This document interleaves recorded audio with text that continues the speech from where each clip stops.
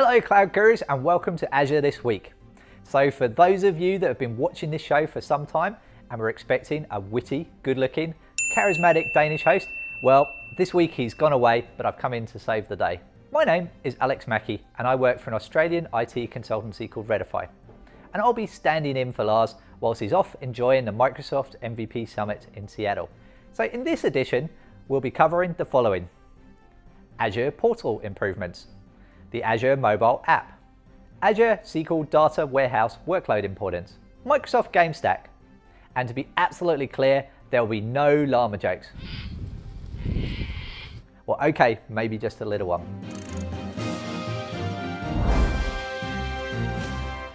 Now, love it or hate it, and even if you spend most of your time in an Azure CLI or PowerShell window, it's almost 100% likely that at some point you'll need to use the Azure portal.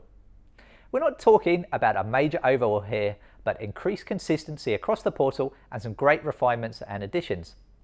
There's been a heap of improvements here, so let us run through these quickly. The All Services view, Virtual Network Gateway screen, MySQL, PostgreSQL and MariaDB have been redesigned. The DNS zone, load balancer and Azure SQL database creation flows have all been modified to be consistent with other creation flows such as virtual machines and they all enjoy a simplified creation workflow. The activity log now supports viewing and filtering by management groups. Now for those of you that haven't worked with management groups, you can think of these as a grouping above subscriptions that allows you to apply policies to subscriptions contained within a group.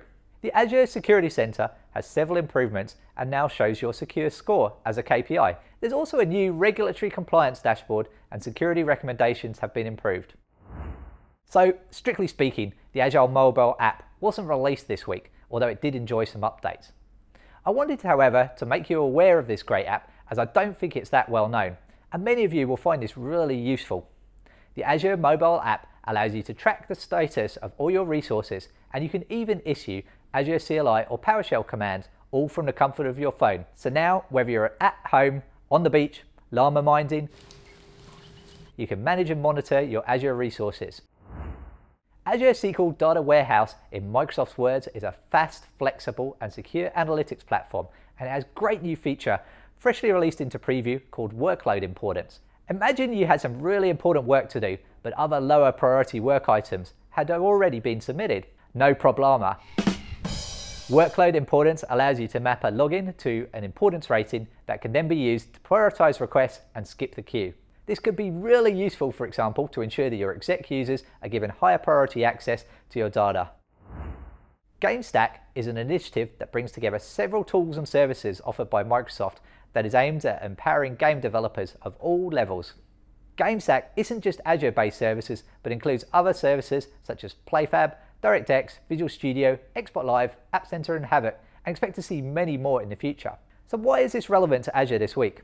Well, Azure provides an important role in the game stack handling the compute and storage requirements. Several big players already utilize various Azure services such as Rare, Ubisoft, Wizards of the Coast, and of course Microsoft's own game services.